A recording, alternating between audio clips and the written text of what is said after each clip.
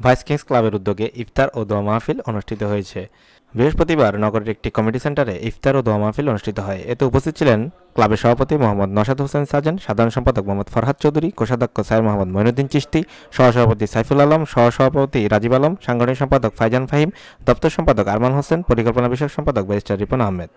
আরও উপস্থিত ছিল ক্লাবের সদস্য নাফিউল রাফি, মোহাম্মদ সাদেক, ইমরান চৌধুরী, ফাহিম উৎসব প্রিন্স, ইফতি আফ্রিদি, রবিন, জুনাইদ সাব্বির, মুন্না আরজু, সানি, সানিফ, সোহান সিকদার, জাভেদ, নাজু, সাদ, সাফিন, তানভীর, রিমন, নান্টু, রমজান, সাজু, সানজিদ।